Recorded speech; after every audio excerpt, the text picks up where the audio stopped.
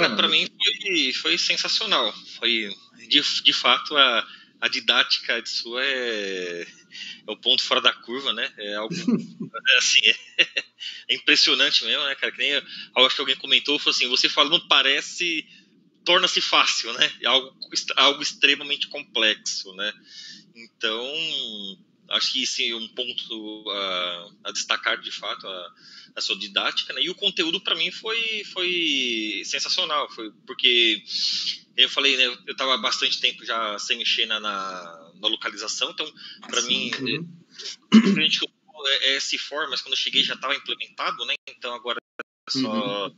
Então, assim, então aquela parte, aquela aquelas primeiras aulas lá do Best Practice versus eh, os BC sets versus da como que era no SC, então assim, foi, foi legal para conhecimento e, e, essa reciclagem e, e, agregar conhecimento novos, né? A gente sempre, sempre aprende, né? Sempre evolui. Então, uhum. só tem só que agradecer mesmo e, e cada dia mais evoluir, né?